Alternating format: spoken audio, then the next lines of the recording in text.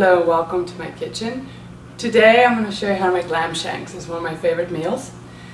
Um, I have purchased eight lamb shanks over here and as you can see in this pot, it, uh, I arranged them so that they're not all touching or laying on top of each other because you can take it through a longer method and you can heat the pot up and you can braise it on all the different sides and get a little color on them on the outside, sear them so to speak and then it will help keep the moisture in there. And it still makes for an amazing delicious flavor.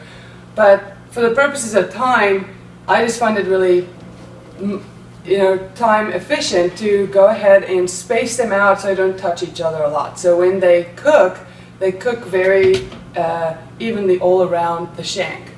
And so um, if I'm having people over for dinner I gotta make a little extra shank. So I got two pots over here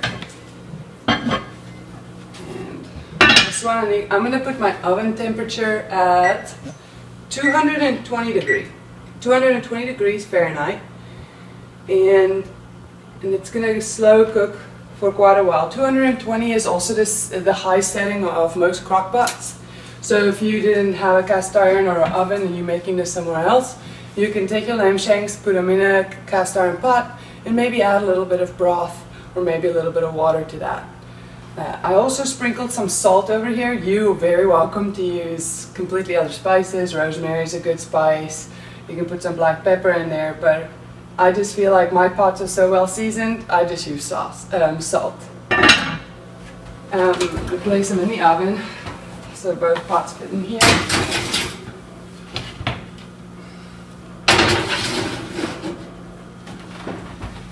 And it's about 11.30 right now. So at 220 degrees, if you want to eat dinner at around 6.30 tonight, it's going to be ready. You just take it out. I'll see you then. Okay, it's dinner time now. It's been in the oven for about 8 hours at 220 degrees Fahrenheit. And uh, if we can get a little closer look here, that is what it looks like. I put it in completely dry and it formed its own broth. Wonderful, the fat is rendered and the shanks are ready to eat full of the bone. When I do that, I'll be back.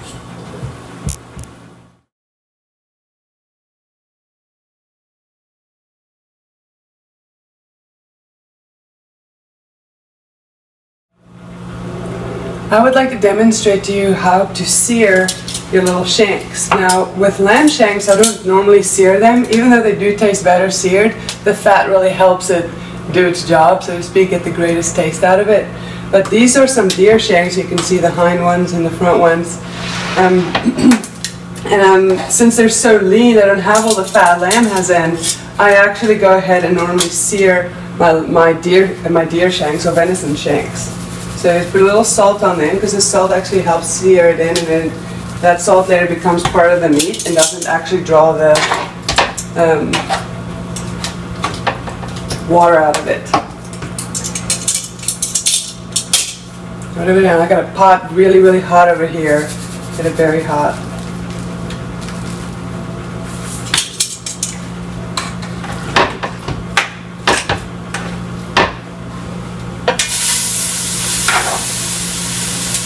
Give it two here at a time.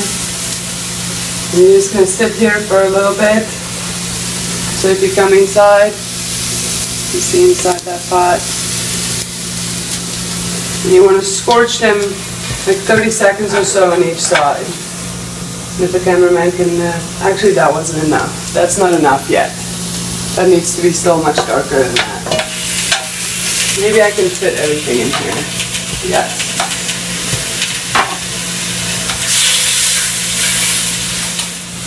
So we have successfully seared them all. So if you look at that, it's got a little bit of darkness on it. We'll switch that off. Since the pot is still hot, I'm going to add about a cup worth of red wine. You can add this to your lamb shanks also as well as these.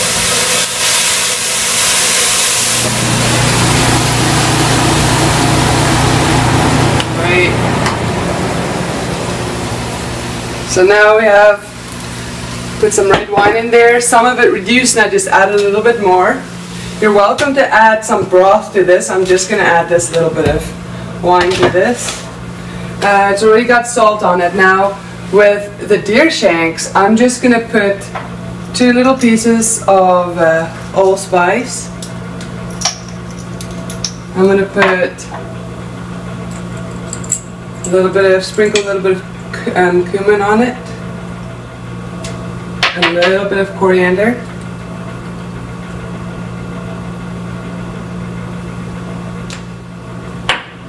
And a bay leaf. Oh, it's like a half one.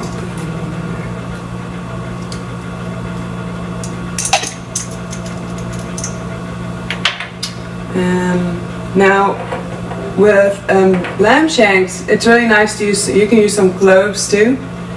Um, I'm not going to put cloves in this one, I already have the allspice. And then I'm going to add just a uh, little cup of, a little bit of water.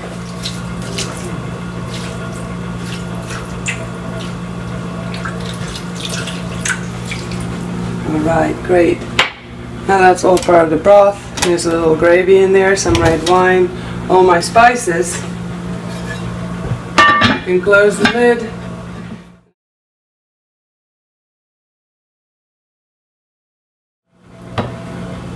So the venison shanks have come out of the oven. And if we can get a little close up on that, you'll see a little bit of fat was rendered. And it looks absolutely delicious. It's fall off the bone. I would definitely recommend taking a couple of extra steps because especially with this lean meat, it's kind of necessary. But even if you're going to make the lamb shanks, it definitely does taste, taste better if you sear it ahead of time. It just is a little bit more expensive on time. The lamb shank is all dished up. I'm serving it tonight with sprouted wheat berries cooked in the broth of the lamb shank and some seasonal root vegetables from my CSA Swallowtail Farms. And uh, we're gonna enjoy that. Smak lite eten!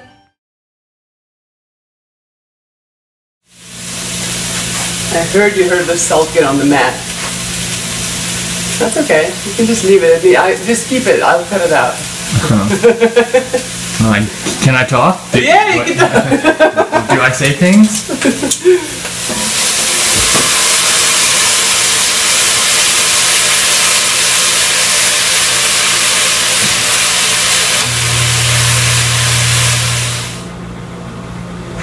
Is that the smoke alarm almost going on?